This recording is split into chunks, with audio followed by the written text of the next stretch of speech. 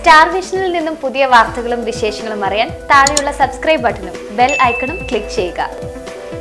കൊറോണയ്ക്കെതിരെയുള്ള മുൻകരുതലിന്റെ ഭാഗമായി ഉത്സവങ്ങളും പെരുന്നാളുകളും ചടങ്ങുകൾ മാത്രമായപ്പോൾ കലാകാരന്മാരാണ് പ്രതിസന്ധിയിലായത്.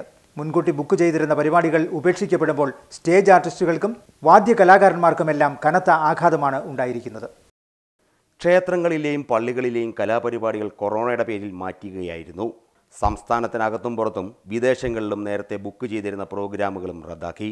ഇതോടെ ഉത്സവ സീസണിലെ വരുമാനം കൊണ്ട് ഉപജീവനം നടത്തുന്ന കലാകാരന്മാരുടെ കാര്യം കഷ്ടത്തിലായി.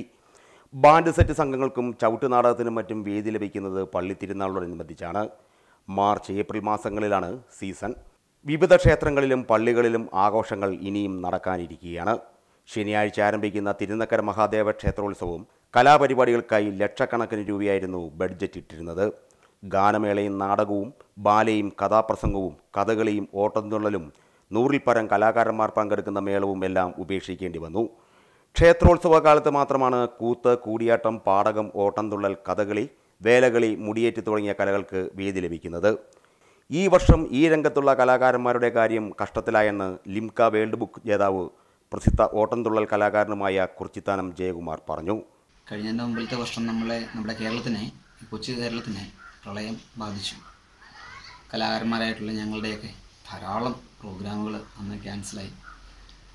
കഴിഞ്ഞ വർഷവും ഈ പറഞ്ഞതുപോലെ ഈ പ്രളയം കാരണം വന്ന ആ ഒരു ബുദ്ധിമുട്ട് അതിന് അതുകൊണ്ട് കഴിഞ്ഞ വർഷവും ഞങ്ങൾക്ക് വളരെ ചെറിയ രീതിയിൽ മാത്രമാണ് പ്രോഗ്രാമുകൾ എടുക്കാൻ പറ്റിയത്.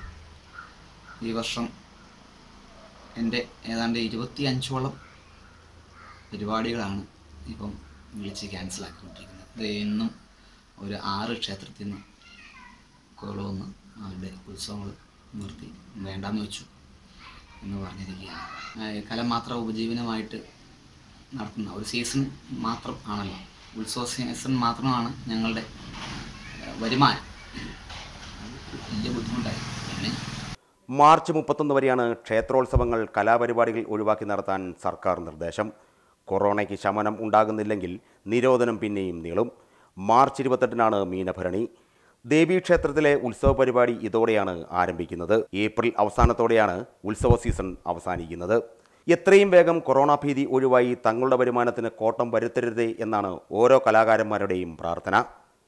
Anil Kurchithanam Star Vision News Pala.